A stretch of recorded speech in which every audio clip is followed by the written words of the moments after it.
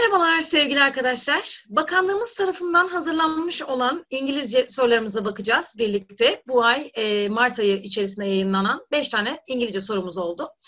E, bu sorular daha fazla muhakemeye, e, analitik düşünmeye dayalı sorulardı. Çok yerinde sorular izleyeceğiz birlikte. Birinci sorumuza bir bakalım arkadaşlar öncelikle.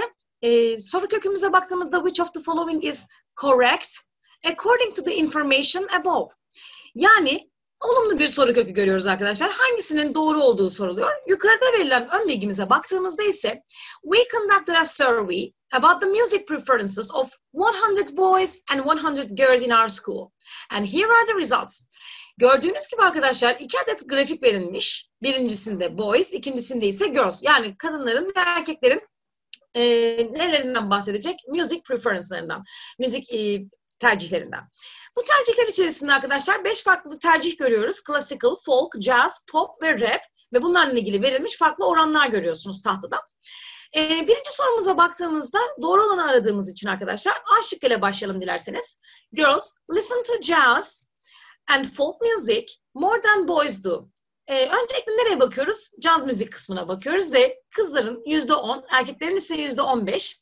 Fakat şıkkımızda ise arkadaşlar more than boys yani erkeklerin sevdiklerinden çok daha fazla sevdiğini söylediği için maalesef ne görüyoruz burada? Ee, yüzde onluk bir e, kısım maalesef gösterilmiş. Bundan dolayı nedir arkadaşlar?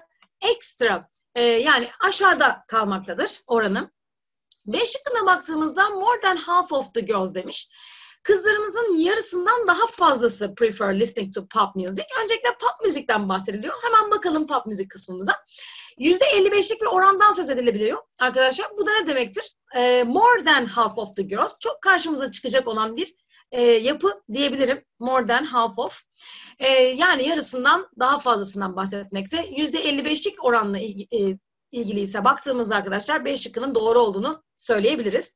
E, yalnız diğer şıklarımıza da bir bakalım. Rap music is the most popular kind of music for both groups. Öncelikle both kelimesine dikkatinizi çekmek isterim. Her iki grup içerisinde de rap müziğin en çok popüler olan müzik çeşidi olduğundan bahsediliyor. Fakat baktığımızda oranlara yüzde 15 ve yüzde 20'lik oranlarla maalesef doğru değildir arkadaşlar.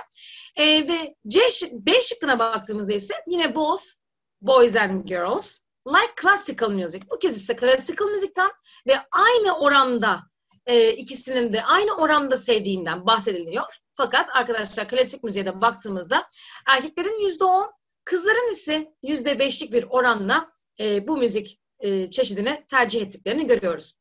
Bu durumda arkadaşlar doğru cevabımız B şıkkı oluyor. Yani kızlarımızın yüzde elli beşten e, bir oranının pop müzik dinlemekten hoşlandığını görüyoruz. İkinci sorumuzla devam ettiğimizde e, öncelikle soru köküne birlikte bakıyoruz. Which of the following completes the conversation above?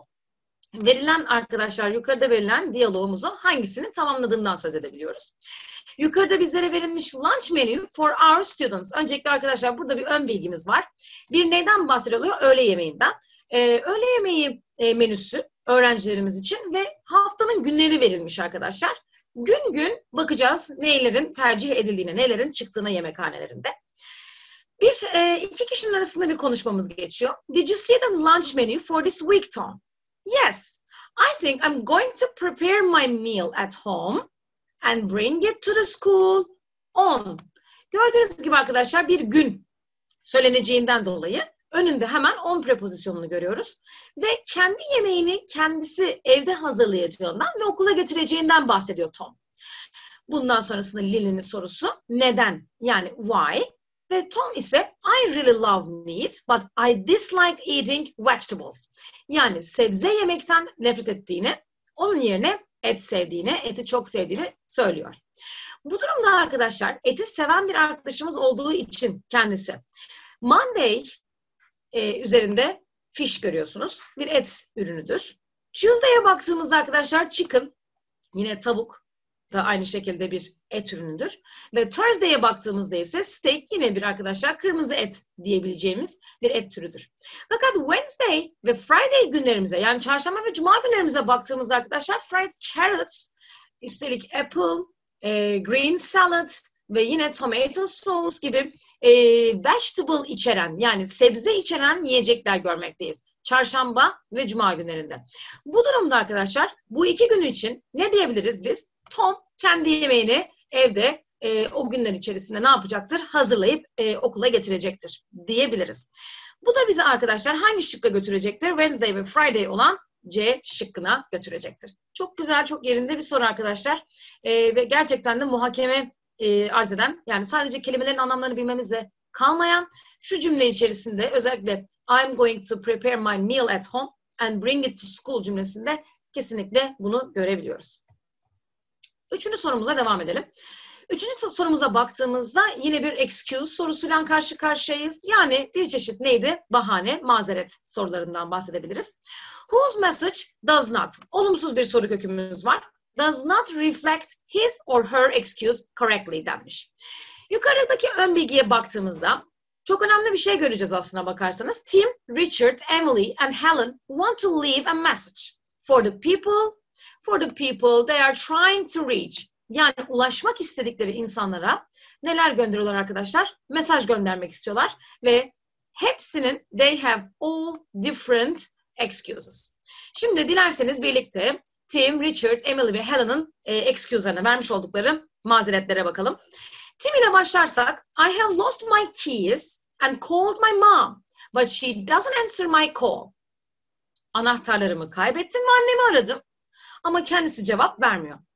Aşağıda verdiği, verilen şıkta ise Tim, I am waiting for you to come home because I cannot get in.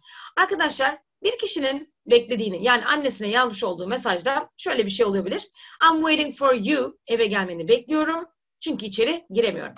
Bu e, mesajın aslına bakarsak yanlış olduğunu söyleyemeyiz. Doğru bir mesajdır, uygun bir mesajdır mazeretine.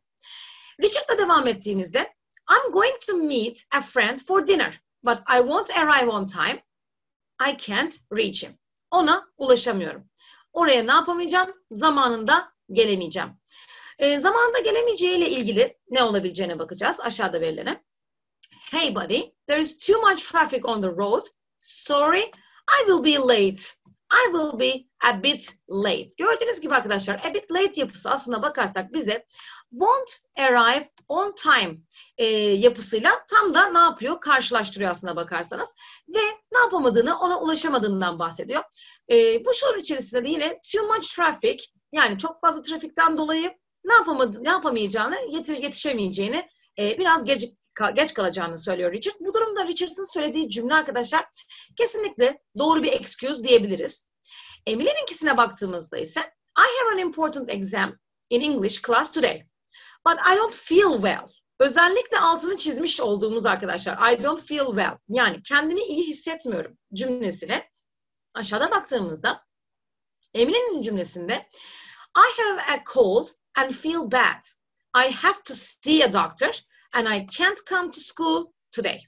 Bu durumda arkadaşlar kendisinin doktoru görmesi gerektiği, gerektiğinden ve üşütmüş olduğundan, kötü hissettiğinden bahsediyor. Bu cevabımız için de yine ne diyebiliriz arkadaşlar? Doğru e, ve aynı zamanda bu mazereti doğru bir şekilde yansıtan bir mesaj olduğunu söyleyebiliriz. Son şıkkımıza baktığımızda ise Helen'da e, I will see my doctor but I'm afraid I will be late. Yani korkarım ki geç kalacağım. I have to call the hospital.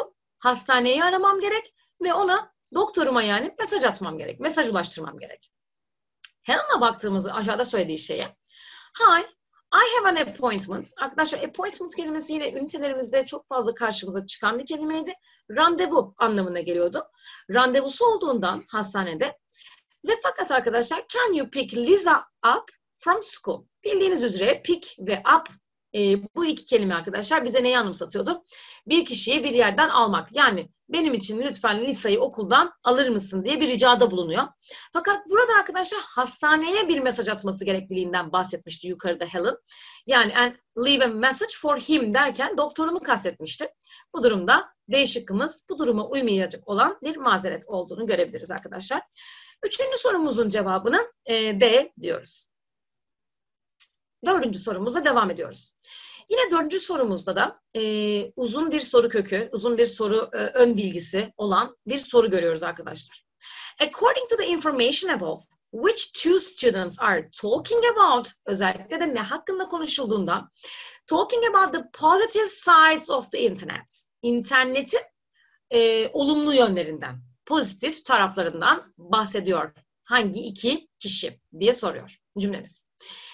Cümlemizle ilgili yani sorumuzla ilgili ön bilgiye baktığımızda Mr. Aslan, an English teacher, creates a discussion topic on EBA and asks his students to share their opinions about the internet. Here are some of his students' comments. Bazılarının komentlerini görüyoruz.